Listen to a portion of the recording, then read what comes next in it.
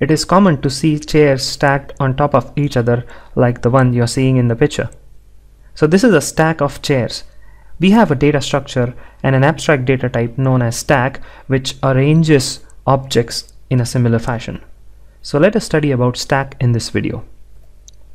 So what is a stack? The abstract data type definition of a stack says that it is a collection of objects that are accessed from one end. So you have a collection of objects that can only be accessed from one end. In this case, the top of the stack. And there are two primitive options, one for addition and one for deletion of elements.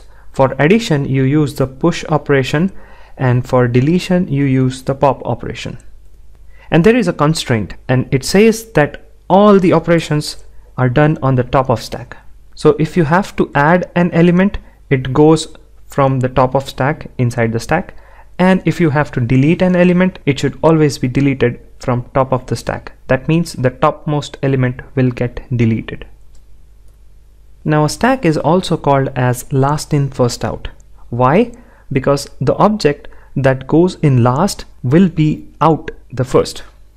To explain it further, let us view this animation. So we have a stack of three elements. Now let us push this number 7 onto the stack. So it will go on top of the stack as defined by the stack abstract data type.